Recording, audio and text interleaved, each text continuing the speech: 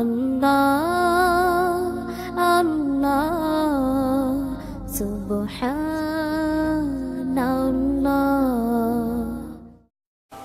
একটা শুদ্ধ কালবের পরিচয় কি? আমরা কীভাবে বুঝতে পারব যে আমার হার্টটা সুস্থ? এর কিছু সিমটম আছে। সুস্থ হার্টের কিছু সিমটম আছে। সেই সিমটমগুলো আমাদেরকে জানতে হবে, পরিবারের সবাইকে জানাতে হবে। এবং শিক্ষার মাধ্যমে আমাদের ছাত্রছাত্রীকেও কিন্তু জানিয়ে দিতে হবে, যাতে ওরা বুঝতে পারে যে তাদের হার্টটা এখন শুদ্ধ। আবার হার্টটা যখন অসুস্থ হবে সেটাও আমরা আলোচনা করব। তাহলে তার সিমটমটা কি? তার আলামতটা কি? চিহ্নগুলো কি? সেটাও আমাদের জানতে হবে, যাতে করে আমরা সিদ্ধান্ত নিতে ভুল না করি। প্রথম যে সিমটম হার্টের যেটা দ্বারা বুঝব যে হার্টটা সুস্থ। এক নম্বর হচ্ছে যে সে তার অধিকারীকে, অর্থাৎ যার হার্ট তিনি সবসময় আল্লাহর কাছে তবা ইস্তেকফার করতে প্রস্তুত থাকবেন। ভুল হয়ে গেলেই তিনি তবার আশ্রয় নেবেন।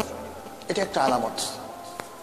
যদি কোনো মানুষ এই কাজটা করে তাহলে সে কিন্তু অবিরাম পাপ করছে, কিন্তু পাপের সাথে সাথে আবার পাপ মুক্ত হচ্ছে। ফলে ব্যাধিটা আসার সাথে সাথে আবার নিষ্কাশিত হচ্ছে। আপনারা জানেন ডায়ালিসিস করে কেন? তাই না? কিডনির ফাংশনটা যখন কাজ করে না, আর হার্টটা আমাদের কাজ করতে থাকবে শুদ্ধভাবে, যখনই তবা করব আমরা। দুই নম্বর হচ্ছে, এই হার্টের অধিকারী ব্যক্তি সে কখনোই আল্লাহর দিকির এবং স্মরণ থেকে বিচ্ছিন্ন হবে না ডিটাচড হবে না। সার্বক্ষণিক দিকিরের মধ্যে থাকবে। সার্বক্ষণিক দিকিরটা কি? সার্বক্ষণিক দিকির নিয়ে আমরা কিন্তু অনেক ধরনের কনফিউশনের মধ্যে আছি। শুধু আল্লাহ আল্লাহ শব্দের দিকিরটাই কি সার্বক্ষণিক দিকির? না। সার্বক্ষণিক আল্লাহর সিস্টেমের মধ্যে থাকা এবং স্মরণ রাখা। যখনই কোনো কাজ করবেন, আপনাকে স্মরণ রাখতে হবে, এটা কি supported by the system of Allah আল্লাহর সিস্টেম কি এটাকে সাপোর্ট করছে কিনা? আল্লাহর ল কি এটাকে সাপোর্ট করছে কিনা? আল্লাহর দেওয়া রুলিং কি এটাকে সাপোর্ট করছে কিনা? কোরআন এবং সন্না কি এটাকে সাপোর্ট করছে কিনা? এই চিন্তাটা থাকতেই এটাই হচ্ছে দেখে তাহলে যেই হার্টটা এমনভাবে আল্লাহকে স্মরণ করে যে সে হালাল হারাম বেছে চলে, সত্যের পথে চলে, সুন্দরের পথে চলে, অসুন্দরকে ত্যাগ করে।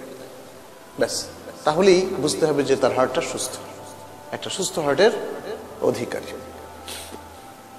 তিন নম্বর হচ্ছে, সে ইবাদতের মধ্যে মজা পায়। সে ইমানকে এনজয় করে। সে ইসলামকে এনজয় করে। সে তার সালাদকে এনজয় করে, তার সিয়ামকে এনজয় করে, হজকে